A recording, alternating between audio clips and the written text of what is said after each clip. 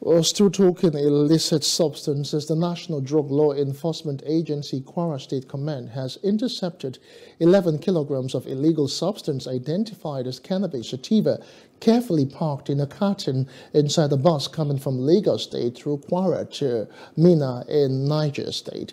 Deputy State Commander Operations Daniel Ogohi and the State Commander Ibrahim Mohammed disclosed this in the Ilorin the uh, State Capital. They said over 100 operatives have been deployed to strategic entry and exit points within the city to check transactions in the illicit drug trade just the result of the activity we just started this morning, the activity, the Operation Balomo that was launched this morning.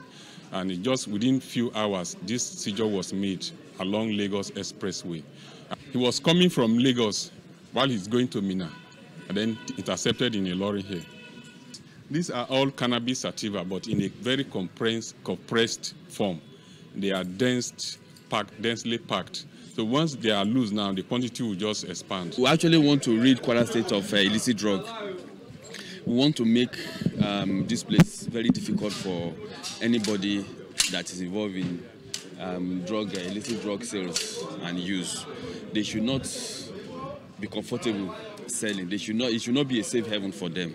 That is our target, especially this uh, Yuletide period that um, everybody feels they want to celebrate uh, end of the year or Christmas with drug. We feel we said that you can celebrate, you can have fun without drug. We're intensifying our patrol system, our raid operations, all the flashpoints.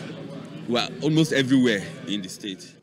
The Kwara State Commander advised parents to keep an eye on their children, particularly during the Yuletide, to guard against drug abuse. Parents should look at after their children. They should know where the kind of parties their children attend. They should know the kind of people they go out with, and they should ask whereabouts of their kids. And as community, they should volunteer information for us too. We are not